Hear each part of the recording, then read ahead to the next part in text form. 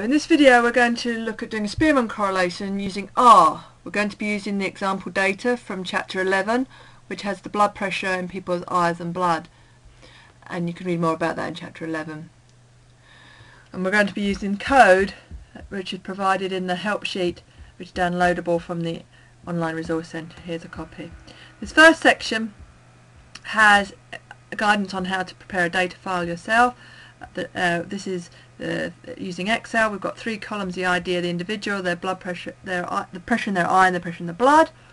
And these eye and blood are the two variables that we're going to be correlated. The ones in this column and this column.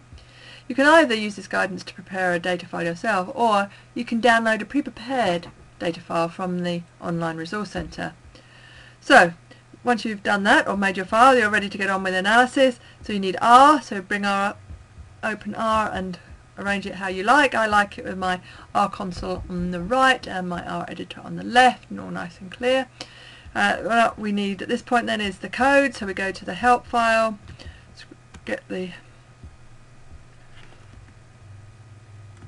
highlight the code and the associated notes.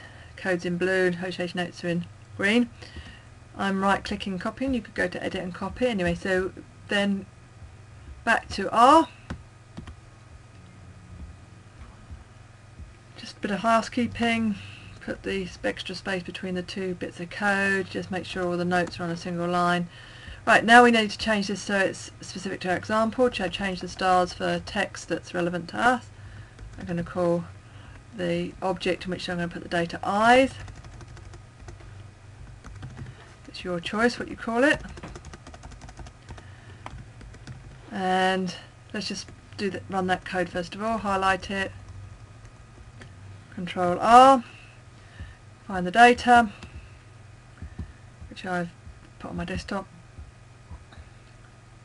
Down, here we go.